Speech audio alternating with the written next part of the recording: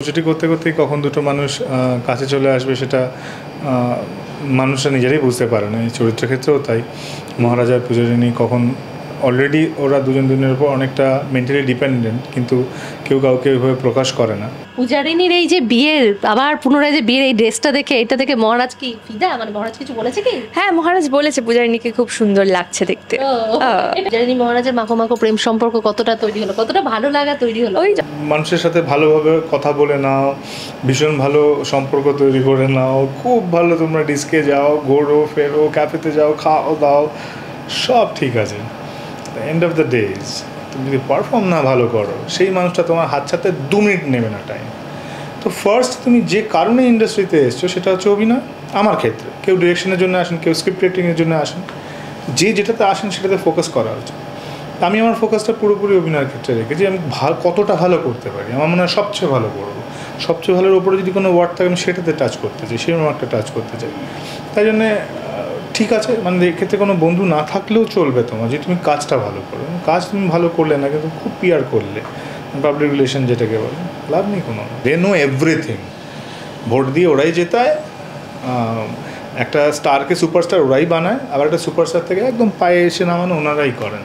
এই চুকলিবাজি করে বেশি দিন চলবে না। হ্যাঁ মানে একটা কলোকাল ওয়ার্ড মানে বলার বক্তব্য এটাই যে, আমি করে নেব, ভনিতা করে, ভনিতাটা মানুষরা বোঝেন। এবং ওই যে বলে না সবাই ভালো অ্যাক্টিং করছে। ও না একটু ভালো এদের থেকে একটু ভালো। এই একটু ভালোটা ওরা কী করে বুঝলেন? তার মানে ওরা বোঝেন ওই একটুটাতেই টাচ করতে হবে। তোমাকে অ্যাচিভ করতে হবে আমাকে ওই একটুটা চাই।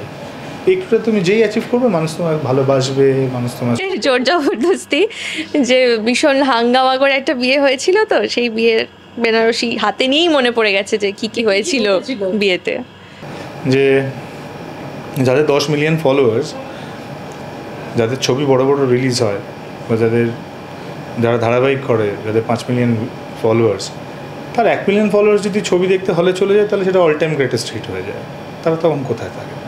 রাদার আমার ওই দশ দশ, পনেরো মিলিয়ন ফ্যান্স এক জায়গায় জুটিয়ে আমি কিছু রেভিনিউ আর্ন করতে পারব। একটা ছবি দিলে বেশ আমার ভালো টাকা দেবে ফেসবুক বা ইনস্টাগ্রাম বা ইউটিউব এর ব্যতীত কিছু হবে না। তো এই যে অজান্তে যে মহারাজ তো ভালো কাজটাই করল।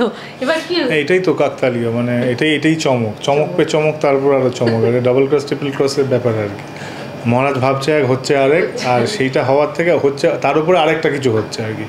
তো এক্ষেত্রে ভালো হচ্ছে। হ্যাঁ তো আমরা নিজেরাই স্ক্রিপ্ট নিয়ে খুব এক্সাইটেড থাকি যে এরপরে কী আসবে এরপরে কী আসবে। চলে এসেছি স্টার জলসা অন্যতম জনপ্রিয় ধারাবাহিক উড়ানের সেটে আর দেখতেই পাচ্ছ আমাদের সাথে রয়েছে সকলের প্রিয় মহারাজা মানে প্রতীকদা। কেমন আছো বলো? খুব ভালো আছি তোমরা কেমন আছো? খুব ভালো আছি। মানে এখন তো গল্পে করে জমজমাট পর্ব কিছুদিন আগে নিজের বিয়ের পর্ব গেছে বা দাদার বিয়ে তো বাড়িতে কতটা প্রস্তুতি চলছে বলো? খুব ধুম ধুমধাম করে প্রস্তুতি চলছে কিন্তু তার মধ্যেই মহারাজ খুব টেনশনে আছে যে এরপরে কী হবে। কেন এত পরি- পরিবারের মধ্যে প্রবলেম নতুন করে আর কোনো প্রবলেম আসুক সেটাও চাইছে না। তার মধ্যে বাবার টাকাটা যদি ফেরত না দেয় আবার দুম করে বিয়ে করে নেয়। তো কোনো অজ্ঞাত এক কারণে বাবা ওর সাথে ওকে বিয়ে দিতে রাজি হয়ে গেছে এবং খরচা করতে রাজি হয়ে গেছে সেটা এখনও মহারাজ জানে না। কী কারণ? সেটাও সে খুঁজে নিশ্চয়ই বার করবে। আর অনস্ক্রিন মানে পূজারিনী এবং মহারাজের মাখো মাখো প্রেম কি শুরু হলো? মানে সেই সম্পর্কটার জন্য তো দর্শক বসে আছে। তোমাদের ওই টমেন্দ্র খুনসুটিগুলো দেখতে বেশ ভালো লাগে। হ্যাঁ ওই খুনসুটি করতে করতেই কখন দুটো মানুষ কাছে চলে আসবে সেটা মানুষরা নিজেরাই বুঝতে পারে না। এই চরিত্রের ক্ষেত্রেও তাই। মহারাজার পূজারিনী কখন অলরেডি ওরা দুজন দুজনের উপর অনেকটা মেন্টালি ডিপেন্ডেন্ট কিন্তু কেউ কাউকে ওইভাবে প্রকাশ করে না। কিন্তু they very much dependent on each other আর ওরমই খুনসুটি করতে করতে ভালো লাগা তৈরি হবে ভালো লাগা তৈরি হতে হতে কোনো সময় একটা একটা প্রেম প্রণয়তে তৈরি হবে। একটু ভালো লাগা তো শুরু হয়েছে বোধ হয় ওই ফোন ভেঙে দিয়েছে আবার ফোন নিয়ে আসা তার প্রতি যে যে কেয়ার করা।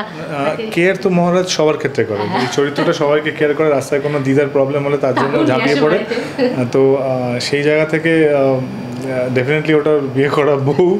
আর যেহেতু তার তরফ থেকে কখনো কোনো খারাপ ব্যবহার সে পায় না। সবসময় সাপোর্টিভ ব্যবহার পায়। তো তারও মনে হচ্ছে এই আমি ফোনটা ভেঙে ফেললাম, ভুল করে। একটা ফোন যে করে কিনে এনে দিই। সেই জায়গা থেকেই মনে হয় দিয়েছে। আপাতত প্রেমটা বোধ হয় প্রেমের স্বার্থে হয়তো মনে হয় দেয়নি। কর্তব্যের স্বার্থে কর্তব্যের স্বার্থে দিয়েছে। আচ্ছা এইভাবে যে অজান্তিক যে পাড়ার মাসিমাকে তুলে নিয়ে এলে সেটা করে প্রিয়াঙ্কার সঙ্গে একটা সম্পর্ক দেখানো হচ্ছে মা। তো এই যে অজান্তে যে মহারাজ তো ভালো কাজটাই করল। এবার কি হলো? এইটাই তো কাকতালীয় মানে এটাই এটাই চমক। চমক পে চমক তারপর আরও চমক। এটা ডাবল ক্রস ট্রিপল ক্রসের ব্যাপার আর কি। মহারাজ ভাবছে এক হচ্ছে আরেক আর সেইটা হওয়ার থেকে হচ্ছে তার উপরে আরেকটা কিছু হচ্ছে আর কি। তো এক্ষেত্রে ভালো হচ্ছে। হ্যাঁ তো আমরা নিজেরাই স্ক্রিপ্ট নিয়ে খুব এক্সাইটেড থাকি যে এরপরে কী আসবে এরপরে কী আসবে। এত সুন্দর গল্প গল্প যে টাচুট কখনো মানে তোমাদের সঙ্গে মিলে যায় গল্পে। মানে ধরো কোনো একটা টুইস্ট চলছে। নিজেরা মানে ভাবো যে এরপরে এটা হয়তো হতে পারে। তারপর দেখলে মিললে বা কখনো তো assume- কাজ করতে গেলে অ্যাজামশন হয় তো ওটা তো মিলে যায়। গাট গাট ফিল মিলে যায় অনেক সময় মনে হয় যে হ্যাঁ আরে এটাই তো ভেবেছিলাম হ্যাঁ এটাই তো হচ্ছে। তো ওতে কি হয় না অনেক সময় ডেলিভারি করতে খুব সুবিধা হয়। কারণ ওটা মেন্টালি একটা ম্যাচের ব্যাপার থাকে তো মাথার ভেতর থাকে সাবকনসিয়াসে তো তখন যখন আসে স্ক্রিপ্টটা একবার দেখলেই মনে হয় আরে এটাই তো সেন্টিমেন্ট কোনো ব্যাপারই নয়। খুব ভালো ডেলিভারি করা যায় তখন। আচ্ছা দুই ভাইয়ের সম্পর্ক অফ স্ক্রিন কেমন হলো? মানে ধ্রুবদা এবং ও তো ভীষণ ভালো অভিনেতা ও খুব ভালো অভিনেতা। আমি তো ওর অভিনয় দেখি যখন ও করে। আমার মা ওর অভিনয় খুব প্রশংসা করে যে নিজের মা? হ্যাঁ হ্যাঁ, আচ্ছা। তো বলে যে ও ভীষণ ভালো ডেলিভারি করে। কি হয় না ও যদি এখানে একটা ভিলেনিস্টিক ক্যারেক্টার করছে এভিলিস্টিক ক্যারেক্টার বলো ভিলেন ঠিক ওইভাবে না। সেক্ষেত্রে যদি কোনো পজিটিভ ক্যারেক্টার যদি আমি করে থাকি আমাকে জাস্টিফাই অ্যাকচুয়ালি ও করছে। কিন্তু ওকেও আমি যেমন জাস্টিফাই করছি মানে ও খুব খারাপ আমি খুব ভালো। যদি খুব খারাপ আর খুব ভালো পাশ সামনাসামনি এসে দাঁড়ালে তখন ডিফার করতে খুব সুবিধা হয় যেটা ভালো আর এটা হচ্ছে খারাপ। তো ডেফিনেটলি ও খুব ভালো লাগে ও খুব ভালো পাঠ করে। আর অফ স্ক্রিন কথা বলার সময় হয় না আমাদের। যেটুকু সময় হলো হয়তো লাঞ্চ ব্রেকে তখন লাঞ্চ করল একটু হয়তো বসে থাকল পাঁচ মিনিট তারপরে হয়তো ডেকে নিল। হয়তো কথা বলতে গিয়েও কথা বলা হয় না এরকমও হয় না। অফ স্ক্রিন পূজারিনীর সঙ্গে কতটা বন্ডিং হলো? সেম হিয়ার যে কাজের মধ্যে এতটা থাকে ওর ওর নিজের ডায়লগ তৈরি করার ব্যাপার থাকে ওর নিজের সারাক্ষণ ইনভলভ থাকে করতে থাকে ব্রাশ করতে থাকে আরও কী করে ভালো করে যাবে তো সেই জন্য মনে হয় না ও আলাদা করে কোনো সময় পায়। বলি এই মহারাজের চরিত্র থেকে তোমার এই কদিনে কি পাওয়া বা কি শান্তি বলো শুনি। পাওয়া তো ওটাই যে এত বছর ধরে যে মানুষ আমাকে ভালোবাসছেন ওটাই ভালোবাসাটা আর একটু বেড়েছে। আশা করি পরের প্রজেক্টে আরও একটু বাড়বে বাড়ার মানুষের চাওয়ার কোনো শেষ নেই। মানে ভালো চাই আরও ভালো চাই আরও ভালো চাই সবচেয়ে ভালো চাই যে ভালোটা কারোর কাছে নেই সেই ভালোটা চাই। তো এখানেও তাই এটাই পাও না যে ওনারা এতটা ভালোবাসেন এতটা আনকন্ডিশনাল লাভ যেখানে কোনো দেওয়াদেবীর কিছু জায়গা নেই যেখানে আমি বলে দিইনি আমাকে তোমরা ভালো বলো কিন্তু ওনারা ভালো বলেন এবং তার জন্য সবসময় প্রচেষ্টা চলতে থাকে। কমেন্ট পড়া হয় দর্শকদের? হুম করা হয় তো। আমি অফ টাইমে ফেসবুক খুললে বা ইনস্টাগ্রামে খুব সময় থাকি না খুব কম থাকা হয়।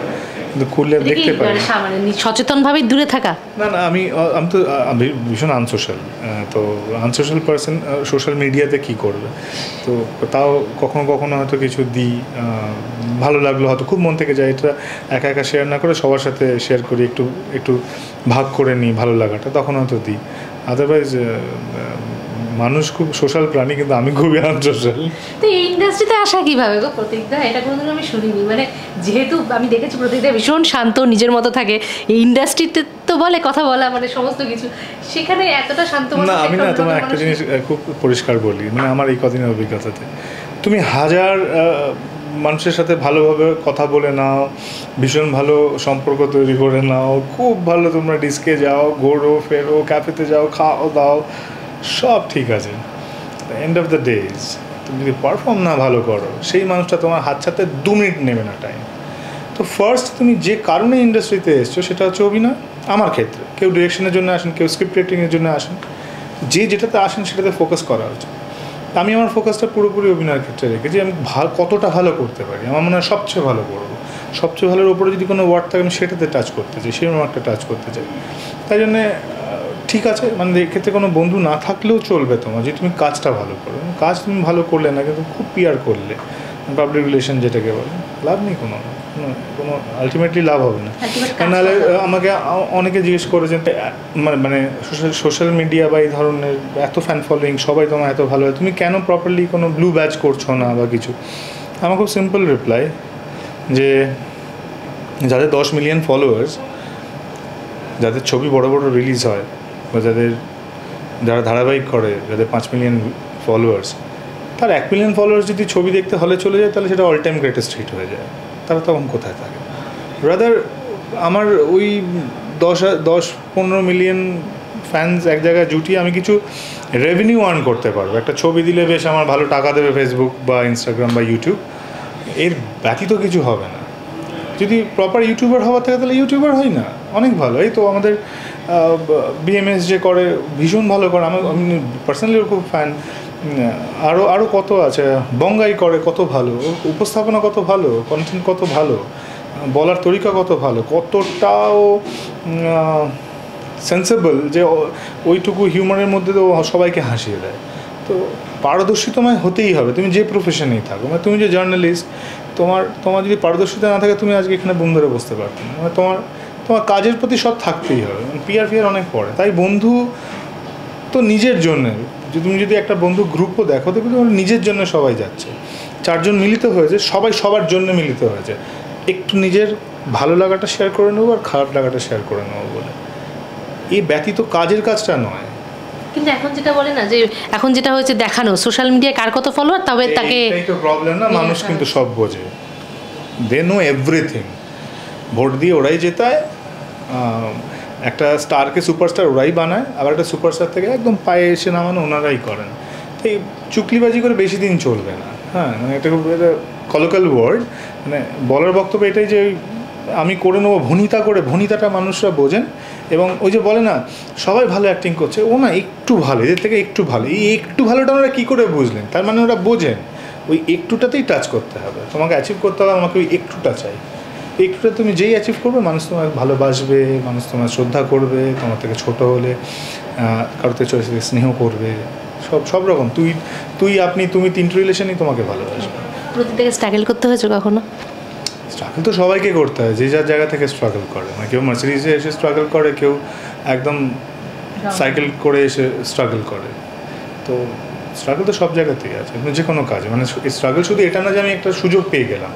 স্ট্রাগল এটা যে টিকে থাকাটা। টিকে কদিন থাকলাম? সুযোগ তো পেয়ে গেলাম। ইন্ডিয়া টিমে চান্স পেয়ে গেলাম কিন্তু আমি পারফর্ম করতে পারলাম না। আমি দুটো ম্যাচে আমার সুযোগ দেবে তিন নম্বর ম্যাচ থেকে আউট এখানেও তাই।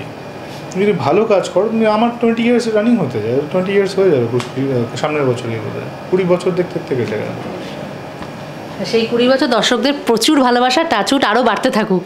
তোমার প্রতিটা চরিত্রই একদম সত্যি করে দর্শক প্রচুর ভালোবাসা দিয়েছে। এক্ষেত্রে এক্ষেত্রে আমি আমি চ্যানেলকে চ্যানেলের কাছে অনেক আভারী। আমার প্রডিউসার্সদের কাছে অনেক আভারী। আমার আমার দর্শকদের কাছে প্রত্যেকের কাছে আমি খুব কৃতজ্ঞ যে তারা মনে করে যে প্রতীককে এই চরিত্রটা দিলে বোধহয় ও ঠিক পরিস্ফুটন করতে পারবে। তো খুব কম এরম থাকে যে মেল ওরিয়েন্টেড এরম একটা গল্প। সাধারণত ধারাবাহিকে তো অন্যভাবেই হয়। তো এক্ষেত্রে দুজনকে সমপরিমাণে জায়গা। খুব কম জায়গায় হয়। সমপরিমাণ সেক্ষেত্রে যখন অ্যাকসেপ্টেবল হয়, ওনারা সেই সেই জায়গাটা মনে করেন যে হতে পারবে। আমি তার জন্য আমার প্রত্যেকের কাছে অনেক কৃতজ্ঞ। আমার প্রত্যেক প্রডিউসার আমার ডিরেক্টর আমার স্ক্রিপ্ট রাইটার আমার চ্যানেল যারা এই পোডিয়ামটা দিয়েছে, যার জন্যে সবার সামনে প্রত্যেক দিন ঘরে ঢুকে যেতে পারি, সবার কাছে কৃতজ্ঞ। যাক শেষ করব। গল্পে তো দারুণ টুইস্ট মানে প্রিয়াঙ্কার এবার মুখোশ কীভাবে খোলা হবে? কীভাবে পূজারিনী আর মহারাজা সেই কাজটা এটা নিয়ে মানে যত কাণ্ড কার- কারখানা এরম টাইপের আর কি ব্যাপার হবে আর কি। দর্শকদের কি বলবে দর্শকদের বলব আপনারা ভালো থাকুন সামনে পুজো আসছে নিশ্চয়ই আশা করি এর মধ্যে আবার দেখা হবে। যদি দেখা না হয় আগে থেকে উইশ করে রাখলাম। থাকুন সুস্থ থাকুন আর যেভাবে ভালোবাসছেন এইভাবে ভালোবাসতে থাকুন। আর সামনে মহাপর্ব আসছে।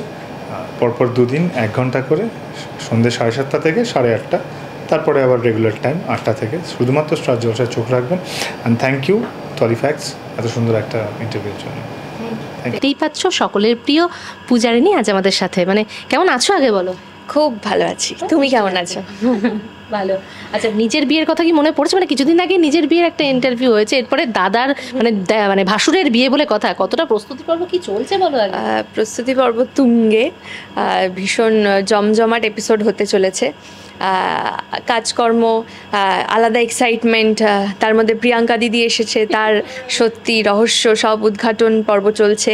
সাথে সাথে মহারাজের সাথে নতুন নতুন করে কেমিস্ট্রি তৈরি হচ্ছে। সব কিছু নিয়ে জমজমাট চলছে। পূজারিনী মহারাজের মাখো মাখো প্রেম সম্পর্ক কতটা তৈরি হলো? কতটা ভালো লাগা তৈরি হলো? ওই যতটা অডিয়েন্স দেখেছে ততটাই তৈরি হয়েছে। অল্প অল্প চলছে। এখন পূজারিনী আবিষ্কার করার চেষ্টা করছে মহারাজকে।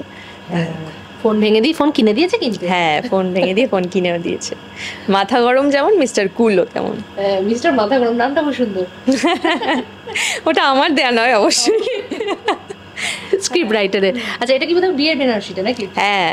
তো মনে পড়ছে নিজের বিয়ের কথা? হ্যাঁ নিজের বিয়ের কথা মনে করিয়ে দেওয়া হয়েছে জোর জবরদস্তি যে ভীষণ হাঙ্গামা করে একটা বিয়ে হয়েছিল তো সেই বিয়ের বেনারসি হাতে নিয়েই মনে পড়ে গেছে যে কি কি হয়েছিল? বিয়েতে। হ্যাঁ। আচ্ছা গল্পে তো একেবারে দারুণ টুইস্ট হ্যাঁ মানে প্রিয়াঙ্কার মুখোশ খোলার পালা। কিন্তু মহারাজা কিন্তু অজান্তেই নিয়ে এসেছে হ্যাঁ? হ্যাঁ, হ্যাঁ, হ্যাঁ, ওই তো ওই উপর থেকে কোথাও এটা ঠিক করা থাকে তো যে কোথায় কার সাথে কখন আলাপটা হবে? এটাও খানিকটা তাই। আমাদের জীবন তো স্ক্রিপ্টের মতনই থাকে। এরকম একটা ঘটনা। আর তা ধূর্ত শিয়ালের সঙ্গে বন্ধুত্ব কতটা হয়েছে? বৌদির কতটা খুনসুটি চলছে বৌদির খুনসুটি আর স্ক্রিনের বাইরে হ্যাঁ। মানে খুব ভালো বন্ধুত্বপূর্ণ সম্পর্ক। আর স্ক্রিনের মধ্যে খুব একটা নয় ওখানে সবসময় টিট ফর ট্যাট চলে আর কি। না। তার মধ্যেও তো তার সঙ্গে আবার শাশুড়িকে সামলানো।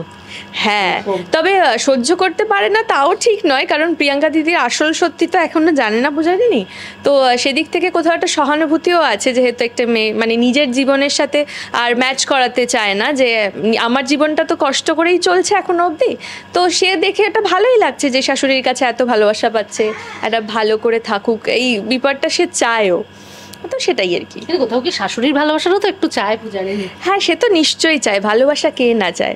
পূজারিনীও চায় এবং আশা করি অল্প অল্প করে ভালোবাসা দিয়েই সবার মনে জায়গা তৈরি করে নিতে পারবে পূজারিনী একদম বাকিরা মোটামুটি পরিবারের সবাই পছন্দ করতে শুরু করেছে আস্তে আস্তে। হ্যাঁ বাকিরা তো প্রথম থেকেই মোটামুটি পছন্দ করে। পছন্দ করেন না বলতে সোমনাথ দা আর পূর্ণিমা দেবী। এর বাইরে পছন্দ করে না লিস্টে নেই এখনও অবধি কেউ। আর হয়তো যদি বৌদি আসেন তিনি হয়তো পছন্দ করবেন না কারণ তার সত্যি তো আমি উদ্ধার করব। তুমি আর মহারাজা দুজনে মিলে। একদম, একদম। তার তো বলতেই একদম একদম। তাই না। আচ্ছা অফস্কিন প্রতীকদার সাথে কতটা বন্ডিং বন্ডিং এর সময় পাই কোথায় বলো? মানে সারাদিন তো স্ক্রিপ্ট তারপর ওখানে শুটিং এর বাইরে তো আর কথাও হয় না সেইভাবে বন্ধু বন্ধুত্ব করার মতো সময়টাও পাওয়া যায় না। এই আচ্ছা যেটা বলছিলে অনস্ক্রিনই আসি একবার যে মহারাজের সঙ্গে বিয়েটা তো বিয়ে করতে চাইছিলে না ঝগড়ুটে একেবারে। কিন্তু সেই ঝগড়ুটে কোথাও গিয়ে আস্তে আস্তে তোমার তোমার সঙ্গে থেকে থেকে বা যেহেতু কর্তব্য পরায়ণ জ্ঞানটা আছে সেটা কিন্তু কোথাও গিয়ে দর্শক দেখছে ভালো ভালো লাগা বা খুনসুটি টমের জিনিস সম্পর্কটা কোথাও গিয়ে, এটা এটা তো কোথাও গিয়ে একটা রিলিফ যে না, ছেলেটাকে যতটা খারাপ ভেবেছিলাম হ্যাঁ একদমই তাই, কারণ পূজারিনী যখন বিয়ে হয়েছিল, তখন তো মহারাজকে এতটা চিনতো না। মহারাজের যে এত গুণ আছে, সে তখন জানতোই না। তো তবুও মানে দায়ে পড়ে যেহেতু বিয়েটা করেছিল, বিয়ের যে তার স্বামীর প্রতি কর্তব্য, ফ্যামিলির প্রতি কর্তব্য, সেটা পূজারিনী সারা জীবনই করতে চেয়েছে। কারণ সে প্রথম দিনই বলেছিল যখন মহারাজকে চিনতো না ঠিক মতো যে হেরে গিয়ে মাঠ ছেড়ে যাওয়ার পালি- পাত্রী কিন্তু পূজারিনীর নয়। তো তখন থেকেই ওই জেদটা রয়েছে পূজারিনীর মধ্যে। আর শ্বশুর মশাই সত্তর লাখ টাকা সেটা তো আমার হেডেক নয় সেটা যে নিয়েছিল তার হেডেক এবং করেছে তো আহ, মহারাজকে যে হ্যাঁ হ্যাঁ হ্যাঁ হ্যাঁ হ্যাঁ সেই একদমই তাই। সেই সেই প্ল্যানটাও চলবে আস্তে আস্তে আগে বিয়েটা মিটে যাক তারপরে আবার কোমর বেঁধে একদম সেটা তো হবেই। আচ্ছা সামনে তো পুজো পুজোর কি পরিকল্পনা? কোনো পরিকল্পনা নেই। যদি ছুটি পাই খাব দাবো ঘুমাবো ব্যাস। হ্যাঁ সেটা জানি না অবশ্যই বাড়িতেই যাব কারণ এতদিন হয়ে গেছে বাড়ি যাওয়া হয়নি। মিস করি। তোমার এই চরিত্র এখন তো মোটামুটি খুব প্রিয় হয়ে উঠেছে। হ্যাঁ মায়ের ভীষণ পছন্দ হচ্ছে এবং আমার বাড়ির সব থেকে বড় দর্শক হচ্ছে দিদা।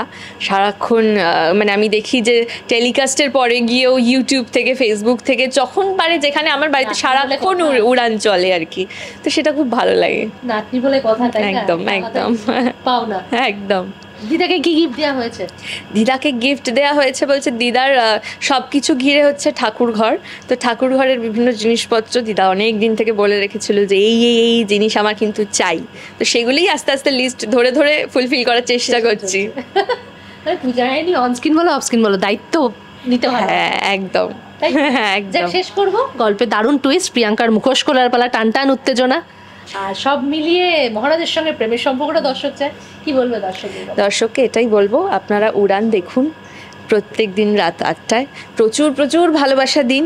যেভাবে টিআরপি বাড়ছে, এই বাড়া যেন কোনো দিন না কমার দিকে যায়, এটাই বলার। আর আমরা তো চেষ্টা করছি আমাদের সবটা দিয়ে কাজটা ভালো করার। আপনারাও আশীর্বাদ করুন, পাশে থাকুন। দেখতে থাকুন উড়ান। সামনে আসছে দুটো দুদিনের মহাপর্ব, সাড়ে সাতটা থেকে। সেই দুটো দিন অবশ্যই মিস করবেন না। টান টান উত্তেজনাময় একটা এপিসোড আসতে চলেছে। প্লিজ দেখুন।